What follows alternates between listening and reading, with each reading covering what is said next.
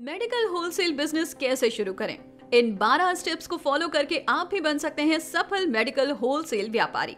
एक medical wholesale व्यापार शुरू करने के लिए किन किन लाइसेंस को लेना होगा? भारत में मेडिकल सप्लाई का बहुत बड़ा कारोबार है। भारत में बनी दवाइयाँ और मेडिकल उपकरण केवल भारत में ही नहीं इस्तेमाल होते, बल्कि उन्हें विदेशों में भी भेजा जाता है। भारत की बनी दवाइयों की विदेशों में बहुत बड़ी मांग है। भारत प्रतिवर्ष ढाई करोड़ अमेरिकी डॉलर की दवाएँ केवल अमेरिका को ही निर्यात करता है। भारत में दवाइयों की डिमांड का ताज़ा उदाहरण हाल ही में कोविड 19 वायरस के संक्रमण को रोकने के लिए बनाई गई भारतीय वैक्सीन का है। ये वैक्सीन विश्व के लगभग पैंसठ देशों में सप्लाई की गई है। ये बात अलग है कि सरकार ने इस वैक्सीन डोज को सीमित संख्या में निशुल्क इन देशों को भेजा है। लेकिन सरकार की ओर से जितनी डोज भेजी गई है, वो उनकी ज़रूरत का 10 प्रतिशत है। यानी उन देशों को अभी इस तरह की भारतीय वैक्सीन की 90 परसेंट डिमांड और है। भारतीय वैक्सीन का रिज़ल्ट अच्छा आ रहा है, इसलिए इन देशों द्वारा बाकी के 90 प्रतिशत वैक्सीन की डिमांड भारत से आ रही है, जिससे भारत के मैन्युफैक्चरर और होलसेल सप्लायर्स को अच्छा खासा बिज़नेस मिल जाएगा। इसके अलावा, भारत में बनने वाली अनेकों दवाइयाँ बड़े पैमाने पर विदेशों को निर्यात होती है। साथ ही हमारे ही देश में भी दवाइयों की भारी खपत होती है। इस बिज़नेस में सफल होने का सबसे बड़ा कारण क्या है? चूँकि भारत विश्व की दूसरी सबसे बड़ी आबादी वाला देश है, यहाँ की आबादी को देखते हुए मेडिकल सप्लाई का काम बहुत ही बड़ा है। दवाइयों और मेडिकल उपकरणों के उत्पादन में भारत का विश्व के मेडिकल इंडस्ट्री में तेरवा स्थान है। ये आंकड़े बताते हैं कि भारत का फार्मास्यूटिकल्स के क्षेत्र में कितना बड़ा मार्केट है। इसके अलावा विश्व के अनेक देशों में भारत के ही विशेषज्ञ डॉक्टर अपनी सेवाएँ दे रहे हैं। उनसे भारत के कारोबारियों को बहुत बड़ा बिज़नेस मिलता है। इन सबको देखते हुए इस बिज़नेस में काफ़ी अच्छी संभावनाएँ दिखती हैं। ये बिज़नेस फ़ायदे वाला है। वैसे तो हर बिज़नेस में थोड़ा बहुत उधार चलता है, लेकिन इस बिज़नेस की खास बात यह है कि ये बिज़नेस कैश पर चलता है। यहाँ मैन्युफैक्चरर से लेकर होलसेलर्स तक इस बिज़नेस में खास ट्रिक अपनाते हैं। वो ये है कि जो रिटेलर लेन देन में अच्छा नहीं होता, उनको वो दवाएँ नहीं देते हैं जो महँगी होती हैं। ऐसे दुकानदारों के लिए महँगी दवाओं की शॉर्टेज यानी कमी हमेशा बनी रहती है। होलसेलर्स यही कहकर उनसे पल्ला झाड़ लेते हैं। जो नकद या कम समय में पैसे का भुगतान कर देता है, उनको सारी दवाइयाँ मिल जाती हैं। उनको ऑफर्स भी मिलते रहते हैं। स्टेप वन इस तरह शुरू करें बिज़नेस मेडिकल सप्लाई का होलसेल बिज़नेस कैसे शुरू किया जाए? इस सवाल का जवाब ये है कि ये बिज़नेस आम बिज़नेस से थोड़ा हटकर है। ये बिज़नेस आम आदमी की ज़िंदगी मौत से जुड़ा होता है। इसलिए बिजनेसमैन के लिए सरकार और मेडिकल क्षेत्र ने कुछ खास योग्यताएँ और दिशा निर्देश निर्धारित कर रखे हैं। मेडिकल का होलसेल बिज़नेस शुरू करने के लिए उन निर्धारित योग्यताओं और शर्तों को पूरा करना होता है। वैसे ये बिज़नेस अन्य होलसेल बिज़नेस में सबसे अच्छा है। अच्छा मुनाफा देने वाला है। समाज में सम्मान भी दिलाने वाला है। स्टेप टू कई सरकारी नियम और शर्तें हैं इस बिज़नेस के लिए। आइए जानते हैं कि मेडिकल का होलसेल बिज़नेस शुरू करने से पहले आपको किन किन शर्तों को पूरा करना होता है। भारत में the drugs and cosmetic act 1940 1945 में संशोधित लागू है। इसके तहत भारत में दवाइयों के निर्माण करने, वितरण करने और आयात करने के लिए गाइडलाइन बनी हुई है। मेडिकल का बिज़नेस शुरू करने के लिए आपको central drugs standard control of organisation CDSCO अथवा state drugs standard control body यानी संस्था से फॉर्म 19 के तहत लाइसेंस लेना ज़रूरी होता है। स्टेप थ्री लाइसेंस के लिए योग्यताएँ। मेडिकल होलसेल का बिज़नेस शुरू करने वाले को कम से कम किसी भी मान्यता प्राप्त शैक्षणिक संस्था, यानी एजुकेशन इंस्टीट्यूट अथवा किसी मान्यता प्राप्त विश्वविद्यालय से फार्मेसी में डिग्री या फिर डिप्लोमा होना चाहिए। मेडिकल के होलसेल बिज़नेस करने वाले को दवाइयों की सप्लाई से जुड़े कारोबार में एक साल का अनुभव भी होना चाहिए। यदि आप स्वयं फार्मासिस्ट नहीं हैं तो आपको एक रजिस्टर्ड फार्मासिस्ट को फुल टाइम जॉब पर रखना होगा।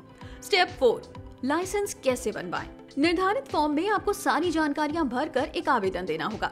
इस आवेदन के साथ होलसेल बिजनेसमैन को अपना नाम, पद की जानकारी देते हुए अपने हस्ताक्षर करके होलसेल मेडिकल बिज़नेस शुरू करने का उद्देश्य भी बताना होता है। ड्रग लाइसेंस के लिए मांगी गई सरकारी फ़ीस का चालान भरकर आवेदन के साथ जमा करना होता है। आवेदन के साथ ही आपको निर्धारित फॉर्म में घोषणा पत्र, यानी डिक्लेरेशन फॉर्म भी जमा करना होता है। आपको अपने परिसर में किए जाने वाले बिज़नेस का मुख्य प्लान भी बताना होगा। अपने परिसर में किए जाने वाले अन्य कार्यों के लिए साइट प्लान भी बताना होगा। आपको अपने परिसर के अधिकार, यानी मालिकाना हक, या किराएदारी के दस्तावेज़ भी देने होते हैं। यदि आप बिज़नेस परिसर किराए पर ले रहे हैं तो उसके मालिक के मालिकाना हक के दस्तावेजी सबूत पेश करने होंगे। बिज़नेस का संविधान incorporation certificate M O A partnership deed भी देनी होगी। ड्रग्स एंड कॉस्मेटिक एक्ट 1940 के तहत प्रोपराइटर पार्टनर डायरेक्टर्स के फार्मासिस्ट न होने का शपथ पत्र भी देना होगा। रजिस्टर्ड फार्मासिस्ट या सक्षम व्यक्ति को फुल टाइम नियुक्त करने का शपथ पत्र भी देना होगा। यदि किसी कर्मचारी को नियुक्त करते हैं तो उस रजिस्टर्ड फार्मासिस्ट या फिर सक्षम व्यक्ति का नियुक्ति पत्र देना होगा। लाइसेंस लेने के बाद आपकी कानूनी कार्रवाई यहीं पर पूरी नहीं होती है, बल्कि सीडीएसओ की निगरानी में drug controller general of India द्वारा नियुक्त फार्मेसी इंस्पेक्टर से नियमित रूप से निरीक्षण भी कराना होगा। इसमें दवाइयों की बिक्री, स्टोरेज और दवाइयों के डिस्प्ले आदि के मानकों को बनाए रखना होता है। स्टेप फाइव, ये चार काम भी करने होंगे। लाइसेंस की प्रक्रिया से तो आपको ये मालूम ही हो गया होगा कि आपको इस बिज़नेस को शुरू करने से पहले कौन कौन से चार प्रमुख काम करने ज़रूरी होंगे। पहला ये कि आप खुद फार्मासिस्ट हैं तो अच्छा है, वरना आपको एक फार्मासिस्ट को नियुक्त करना होगा। उसके बिना काम नहीं शुरू हो सकेगा।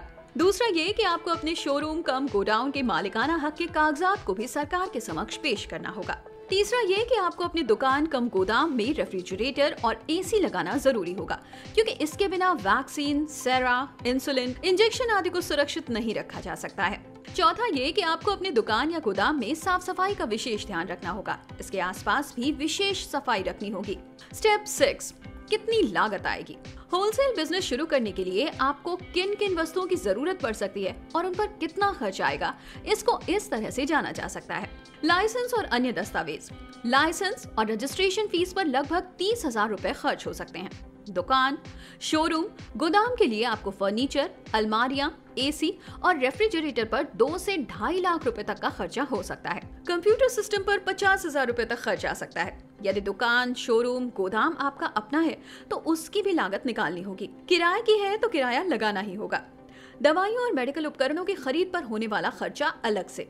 इसके अलावा आपको फार्मासिस्ट सहित कई कर्मचारियों की भी ज़रूरत होगी। इस पर एक लाख रुपए के आसपास खर्च होगा। थोक में दवाइयाँ और मेडिकल उपकरण खरीदने में भी अच्छी खासी रकम खर्च करनी होगी। इस तरह से इस बिज़नेस में 40 से 80 लाख रुपए तक की लागत आएगी। स्टेप सेवन कितना मुनाफा मिलेगा? इस बिज़नेस में मुनाफा यानी लाभ कितना हो सकता है? ये आपके बिज़नेस पर निर्भर करता है कि आप किस तरह का बिज़नेस करते हैं। जैसे ब्रांडेड या unbranded medicine generic medicine brand value medicine आपकी फर्म की रिपुटेशन पर एथिकल या अनएथिकल प्रैक्टिस बिना डॉक्टरी सलाह वाली दवाइयों का बिज़नेस बिज़नेस के बाद आप किस तरह का होलसेल बिज़नेस करना चाहते हैं? मेडिकल के होलसेल बिज़नेस के भी कई रूप होते हैं। उसी हिसाब से आपका प्रॉफिट तय होता है। सी एंड एफ़ एजेंट यानी carrier and forward agent stockist distributor chemist pharmacy, यदि आप होलसेलर या स्टॉकिस्ट हैं तो आपको 6 से 10 प्रतिशत तक का मुनाफा मिल सकता है। इसके अलावा समय समय पर मैन्युफैक्चरर्स द्वारा दी जाने वाली प्रमोटर्स स्कीमों का भी लाभ मिल सकता है। इसके अलावा, अन्य तरह के होलसेल बिज़नेस में कंपनियों द्वारा मुनाफा तय जाता है। स्टेप एट एक्सपायरी डेट से रहना होगा सतर्क। भारत में ड्रग्स एंड कॉस्मेटिक एक्ट 1948 की धारा बी, नियम 98 के अनुसार किसी भी दवाई को पाँच वर्ष से अधिक स्टोर नहीं कर सकते। वो भी रख रखाव की दशा पर निर्धारित करेगा। दवाई के बिज़नेस में बिजनेसमैन को एक्सपायरी डेट को लेकर हमेशा सतर्क रहना होगा। अपने स्टोर को लगातार चेक करते रहना होगा। उन दवाइयों को सबसे पहले बेचने की कोशिश करनी होगी, जिनकी एक्सपायरी डेट काफ़ी नज़दीक है। इसलिए आपको अपने स्टोर में रखी दवाइयों की लिस्ट बनानी होगी या कंप्यूटराइज कर उसकी एक्सपायरी डेट को भी लिखना होगा। इसकी चेकिंग के लिए डेली एक रूटीन वर्क करना होगा, जिससे रोज़ाना ही एक्सपायरी डेट वाली दवाइयों की जानकारी होती रहे। स्टेप नाइन, क्यों हो जाती है दवाएँ एक्सपायर? जो दवाइयाँ केवल रजिस्टर्ड मेडिकल प्रैक्टिशनर्स द्वारा लिखी जाती हैं, उनको कम मात्रा में स्टोर करना चाहिए।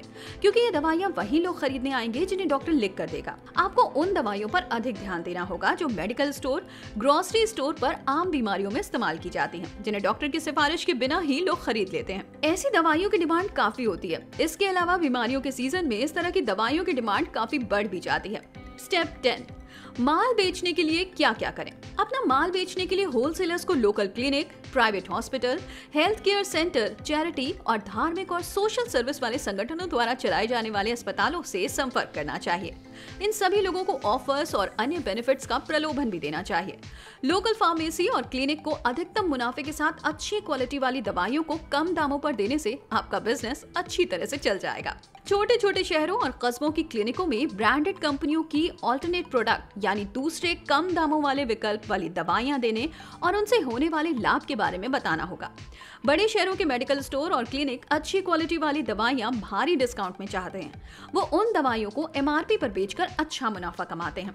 स्टेप इलेवन, सरकारी योजनाओं में किस्मत आजमाएँ। मेडिकल होलसेलर्स को सरकारी योजनाओं में अपनी दवाइयाँ और उपकरण सप्लाई करने की प्लानिंग करनी होगी। देश भर में सरकारी और अर्ध सरकारी अस्पतालों, क्लिनिकों की भरमार है। इनमें सप्लाई के लिए समय समय पर टेंडर आदि निकाले जाते हैं। उनकी सप्लाई करके अधिक से अधिक मुनाफा कमाया जा सकता है।